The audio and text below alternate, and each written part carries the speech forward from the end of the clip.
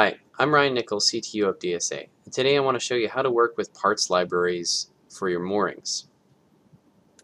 Well, what do we mean by parts libraries? This just means different components from wire rope, synthetic fiber rope, to sensors, floats, and weights, things like that. So when you open Proteus, you start with a blank project, and in fact there's not really much in the library at all for this project.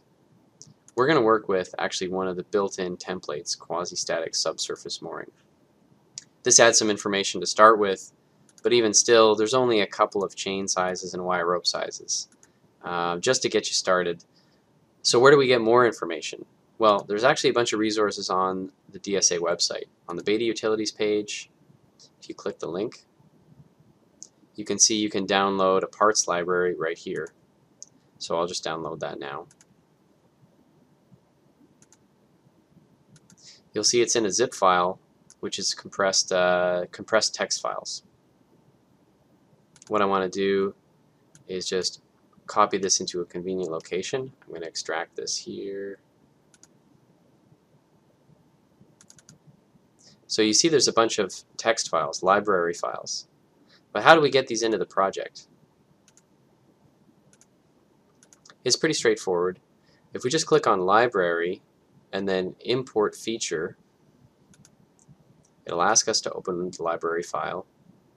We can find this in the convenient location we downloaded it.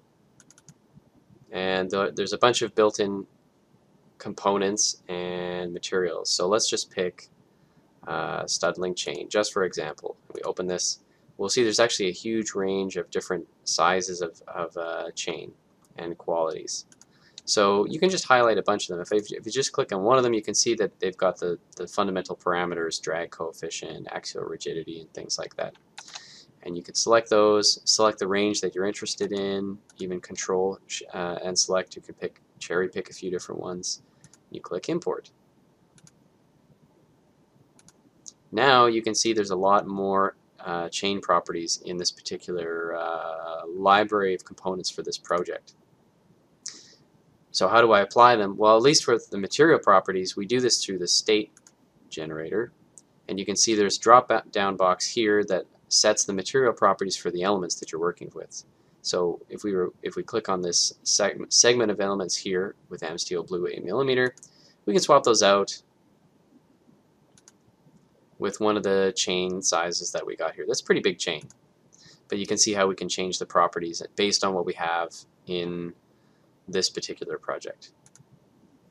So I just wanted to give a quick overview of that and I hope you found this useful. Thanks for watching.